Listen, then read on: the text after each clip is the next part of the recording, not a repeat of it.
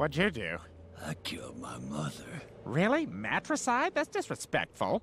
Although if you inherited that pizza face from her, I get it.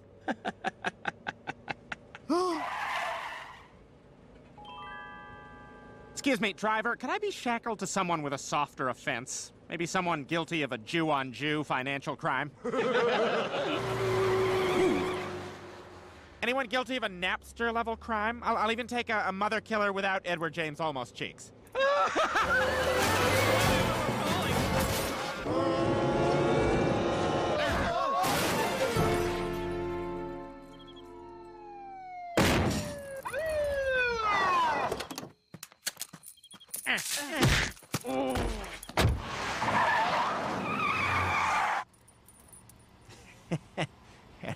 Edward James Olmos cheeks.